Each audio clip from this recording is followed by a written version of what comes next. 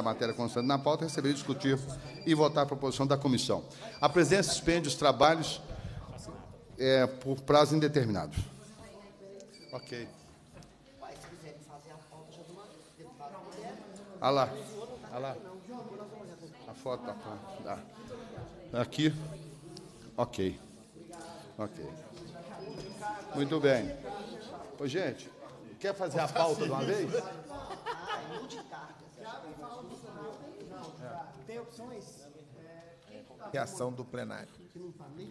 Projeto de lei número 2834/2015, que dispõe sobre a desafetação de bem público, autoriza o Poder Executivo a doar ao município de Guimarães o trecho de rodovia aqui e se, é, especifica, de autoria do deputado Deiró Marra.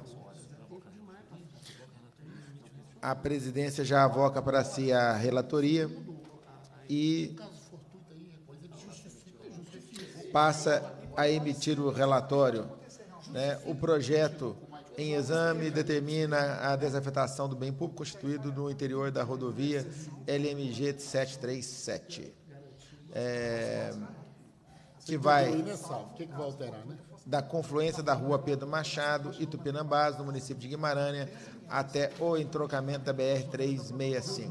A Secretaria de Estado da Casa Civil de Relações Institucionais enviou a nova técnica jurídica 792 da Secretaria de Estado de Transporte e Obras Públicas, CETOP, e a nota técnica do então Departamento de Estradas e Rodagens do Estado de Minas Gerais, DRMG, nas quais esses órgãos se manifestam favoravelmente à pretensão da proposição em análise, considerando o trecho apresentando, que apresenta características urbanas. Diante do exposto, opinamos pela aprovação do projeto de lei 2834/2005 2015. 2015, no segundo turno, da forma do vencido no primeiro turno. Em discussão, o parecer. Não havendo quem queira discutir, em votação, o parecer. Os deputados concordem e permaneçam como se encontrem. Aprovado. Projeto de lei 43 4838 de 2017, que dispõe sobre os critérios para o atendimento de acidentes emergenciais ambientais em ferrovias, rodovias, estradas e suas adjacências envolvendo produtos e resíduos perigosos no Estado e da outras providências de autoria do governador Fernando Pimentel. É, é, designo como relator da proposição o deputado João Vitor Xavier Indago. Você está pronto para emitir seu relatório? Perfeitamente, senhor presidente. Em, em, é, com a palavra, o deputado João Vitor Xavier para a emissão do seu relatório. Eu peço 30 segundos, presidente, apenas para. me Então, vamos aqui interromper os tecnicamente. trabalhos. Tecnicamente. de emergências ambientais em ferrovias, rodovias, estradas e suas adjacências, envolvendo produtos e resíduos perigosos no Estado da outras providências. Aprovado em primeiro turno na forma de substitutivo número 2, retorna a essa comissão para receber parecer de segundo turno, conforme dispõe o artigo 189, combinado com o artigo 102, eh, parágrafo 3 do regimento interno. Em observância ao parágrafo 1 do referido artigo 189, transcrevemos ao final desse parecer, como parte dele, para a redação vencida. Esse parecer busca eh, efetuar algumas regulamentações apenas de redação ao que já foi aprovado eh, em primeiro turno, eh, salientando que incluímos o parágrafo no parágrafo no artigo 5 remetendo à regulamentação o conteúdo das primeiras ações emergenciais as citadas no no inciso 1 do caput do mesmo artigo e retomando o prazo original do inciso 2 do artigo 5 remetendo ao regulamento os casos excepcionais que porventura ocorram. Eh, concluímos pelo apresentado, opinamos pela aprovação do projeto de lei 4.838-2017, em segundo turno, na forma do substitutivo número 1, ao vencido em primeiro turno, substituído substitutivo que segue em anexo a este parecer, senhor presidente. Poder- o relator poderia apresentar para nós a modificação relevante, fazer a leitura da, da parte que foi alterada?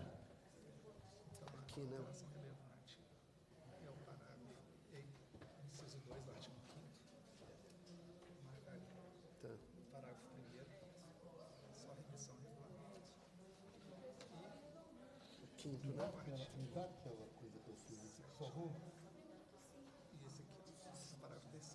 Sabe? Porque estava repetindo que as penalidades, né, as medidas cabidas já está no artigo 11. Era só fazer uma diferença. Senhor presidente, as principais adequações, é, o artigo 5 parágrafo 2 é, a linha segunda, disponibilizar o artigo 5 Os transportadores de produtos e resíduos perigosos ficam obrigados a manter diariamente ou por meio de empresa especializada serviço de atendimento a emergências capaz de. Isso já estava é, objetivado no primeiro projeto. No segundo inciso, disponibilizar no local do sinistro os recursos apropriados para transbordo, inertização, neutralização de demais métodos físicos, químicos e físico-químicos de mitigação, limpeza do local e remoção dos veículos sinistrados em até quatro horas da ocorrência do acidente, salvo ocorrência de caso fortuito ou força maior na forma do regulamento. Parágrafo 1 As primeiras ações emergenciais a que se refere o inciso 1 do CAPT serão definidas em regulamento.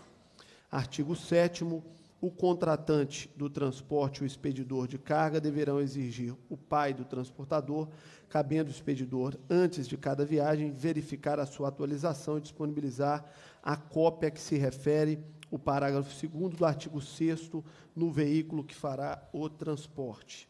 E o parágrafo 3 o expedidor e o contratante assumirão a operacionalização do pai, caso o transportador não o faça. É, é isso. Concluída a leitura do relatório, em discussão, parecer. Com a Presidente, palavra, eu gostaria de fazer uma deputado Excelente. Citrocel. Eu, o deputado João Vitor Xavier fez a leitura das alterações e eu tinha uma emenda para apresentar, cujo objeto da emenda era o mesmo também de garantir né, que, se ocorrido nas regiões metropolitanas de Belo Horizonte do Vale do Aço, inclusive dos respectivos colares, né, ou em até oito horas da ocorrência do acidente nos demais locais, salvo ocorrência de caso fortuito ou de força maior de forma do regulamento. Mas fiquei contemplado com as alterações apresentadas pelo deputado João Vitor Xavier, ficando prejudicada essa emenda de minha autoria. Muito atento, deputado Sereno Para Citrocel. discutir, presidente. Com a palavra, deputado João Vitor Xavier. Apenas para agradecer mais uma vez a generosidade de Vossa Excelência eh, com esse projeto. É uma enorme contribuição que essa Assembleia, através da Comissão de Transporte e Trânsito, gera para o Estado de Minas Gerais. Infelizmente, acidentes e incidentes continuarão ocorrendo, mas a partir de agora passamos a ter uma, uma legislação dura, eficaz e também com a possibilidade, através da questão da regulamentação, de compreender excepcionalidades. Como a nossa própria assessoria já disse, corremos o, o risco, por exemplo, de termos duas grandes tragédias no mesmo dia e ter a dificuldade de, por uma tragédia, se chegar a outra. Sim. Mas isso são excepcionalidades. De toda maneira, teremos um regulamento mais rígido que garante a quem assume a responsabilidade de tal eh, transporte eh, de resolver em eventuais sinistros, a fim de não prejudicar uma grande maioria que fica impedida de exercer as suas atividades de maneira normal por um incidente causado, muitas vezes, por uma única empresa. Queria agradecer a Vossa Excelência pelo relatório, que abrangeu a todo o Estado. Agradecer também a assessoria da Casa, que prestou as informações necessárias para que esse trabalho pudesse ser efetuado com eficiência. E esperamos que, aprovado o relatório, ele seja depois acolhido pelo plenário da Casa. Em votação, o requerimento, os deputados, o parecer, os deputados que concordem permaneçam como se encontrem. Aprovado. Projeto de Lei 286, que dispõe sobre a obriga- obrigatoriedade da ah, implantação de ciclovia às margens da rodovia nos trechos em que contém áreas urbanas e da outras providências, do deputado Celim do Citrocel, e encaminhamos, eh, designamos como relator o deputado João Vitor Xavier. Eh, pergunta ao relator se ele está pronto para emitir seu relatório. À sua disposição, senhor presidente. Com a palavra, o relator João Vitor Xavier. De autoria do caro amigo, nobre deputado Celinho do Sintrocel, resultante de desarquivamento do projeto de lei 1946-2011, a matéria em epígrafe tem por finalidade dispor sobre a obrigatoriedade de implementação de ciclovias às margens das rodovias, nos trechos em que cortem áreas urbanas e dar outras providências. A proposição foi distribuída às respectivas comissões, é, comissões foi analisada previamente pela Comissão de Constituição e Justiça, que concluiu por sua juridicidade, constitucionalidade e legalidade na forma do substitutivo número 1, por ele apresentado. Não, pode. É, pelo exposto, somos pela aprovação do projeto de lei 286-2015, no primeiro turno, na forma do substitutivo número 1 da Comissão de Constituição e Justiça. Em discussão, parecer. Não havendo quem queira discutir, colocamos em votação o parecer. É, os deputados que concordem permaneçam como se encontrem. Aprovado. Deixa eu pegar. Meu, ô, doutor, você trouxe meu óculos? O doutor Renato chegou com meu óculos? Doutor, você trouxe meu óculos? Não.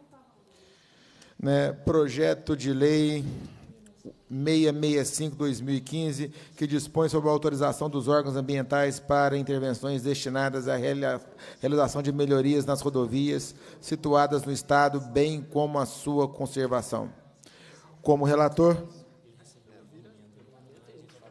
o projeto, esse projeto de lei recebeu emenda no plenário e encaminhamos aqui agora como relator o nosso parecer pela, pela emenda. É, de autoria do deputado Antônio Carlos Alantes, o projeto de lei resultante do desarquivamento, projeto de lei 632-2010, dispõe sobre a autorização dos órgãos ambientais para intervenções, a, a, a, dispõe sobre a autorização, a dispensa de autorização dos órgãos ambientais para intervenções destinadas à realização de melhoria nas rodovias situadas no Estado, bem como a sua conservação.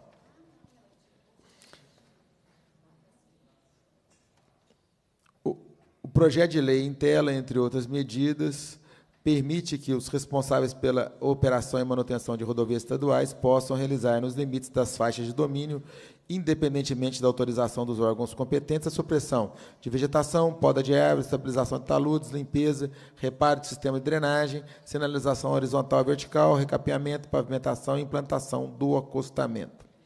Segundo a justificação que acompanha a preposição, é necessário autorizar é necessário normatizar a matéria no Estado, para evitar entraves que impeçam as intervenções básicas com realização de melhoria nas rodovias nele localizadas, bem como a conservação dessas.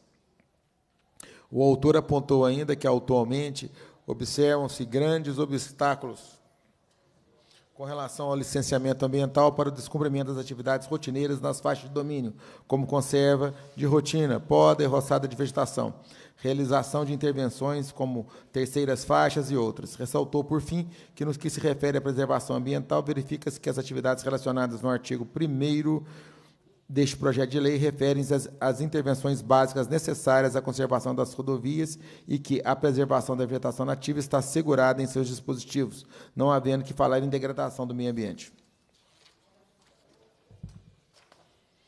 O substitutivo número 1, um, apresentado pela Comissão de Constituição e Justiça, aprimora a redação do projeto, além de adequá-la à técnica legislativa e à legislação ambiental vigente. A Comissão de Meio Ambiente e Desenvolvimento Sustentável apresentou o substitutivo número 2, que aprimora o substitutivo número 1 um da Comissão de Constituição e Justiça com o objetivo de compatibilizar as intervenções autorizadas pela proposição no que tange a vegetação nativa com as diretrizes traçadas pela legislação florestal vigente.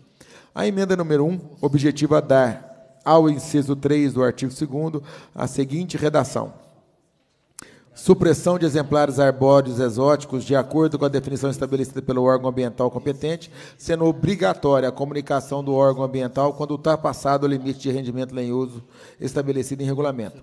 A alteração proposta determina que o órgão ambiental competente estabeleça a definição de exemplar arbóreo exótico. Tal medida aprimora a preposição, razão pela qual deve ser aprovada. Opinamos pela aprovação da emenda número 1. Em discussão, o parecer. Não havendo quem queira discuti-lo, em votação, o parecer, os deputados que concordam permaneçam como se encontrem. Aprovado o parecer.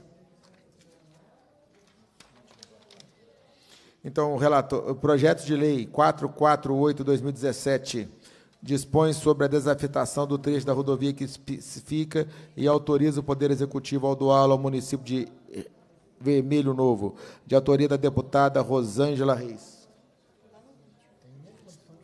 Redistribuo como designo como relator o deputado Celim do Sintrocel. Deputado, Está pronto pra, está pronto para emitir sim, o relatório? Presidente, sim. Com a palavra o deputado Celinho Sintrocel. De autoria da deputada Rosângela Reis, o projeto de lei em EP que dispõe sobre a desafetação do trecho da rodovia que especifica e autoriza o Poder Executivo a doá-lo ao município de Vermelho Novo. A matéria foi publicada no Diário do Legislativo de 3 de agosto de 2017 e distribuída às comissões de Constituição e Justiça e Transporte, Comunicação e Obras Públicas, Preliminarmente, a Comissão de Constituição e Justiça concluiu pela juridicidade, a constitucionalidade e a legalidade da proposição na forma apresentada. Vem agora a matéria a este órgão, colegiado, para receber o parecer quanto ao mérito nos termos do artigo 188, combinado com o artigo 102 do inciso 12 do Regimento Interno. Com a inserção do trecho no seu perímetro urbano, a partir da aprovação da proposição, o município de Vermelho Novo assumirá a responsabilidade por sua manutenção e conservação para garantir a autonomia municipal e atender aos anseios da população. Por essa razão, e considerando o parecer favorável da comissão nos antecedeu, entendemos que o projeto merece prosperar nessa casa, com o intuito de melhor definir o segmento de rodovia a ser desafetada. Apresentamos a proposição. Diante do exposto, opinamos pela aprovação do projeto de lei 4.448 de 2017, no primeiro turno, na forma apresentada, com a emenda número 1 a seguir redigida. Desse ao artigo 1 da seguinte redação. Artigo 1 Fica desafetado o trecho da rodovia AMG 314, compreendido entre o quilômetro 10,5 e o quilômetro 12, com extensão de um quilômetro e meio, esta é a conclusão, presidente, do relator. Muito bem, deputado, obrigado. Em discussão, o parecer. Não havendo quem queira discutir, em votação, o parecer. Os deputados que concordem permaneçam como se encontrem. Aprovado o parecer. Passa-se a terceira fase da ordem do dia, que compreende a discussão, o recebimento e a votação de proposição desta comissão. Indago aos deputados se há alguma matéria a ser apresentada nesta fase. Deputado Bosco. Pelo ordem, senhor presidente. Senhor presidente. É... Com a palavra, deputado Bosco. Agradeço ao presidente Fábio Xerém, aos demais deputados presentes. É, eu gostaria aqui, em nome do município de Guimarães, fazer um agradecimento aos membros dessa comissão por terem aprovado aqui em segundo turno o projeto de lei 2834, que é um projeto totalmente do interesse daquele município, porque desafeta parte de um trecho que hoje não é mais uma rodovia, e sim uma avenida que passa por, por dentro daquela cidade. Então, portanto, é um trecho que já é municipal. Né? E com agora a, a desafetação né, do Estado, com, a, com o apoio desta comissão, vai propiciar ao prefeito promover melhorias nesse trecho, né, repito, que já é um trecho urbano. Então, quero aqui agradecê-los, embora o projeto seja de autoria do deputado Deiró Marras, que apresentou aqui quando ainda estava deputado em 2015, né, mas é um projeto do interesse né, daquela região e, sobretudo, de Guimarães, portanto, eu lhe agradeço. Atento aí o deputado Bosco aos interesses de Guimarães, agradecemos as palavras simpáticas do deputado. E cumprida a finalidade da reunião, a presidência agradece a presença dos parlamentares, convoca os membros para a próxima reunião ordinária, cancela a, reunião extraordinária demarcada para 18h30, determina a lavratura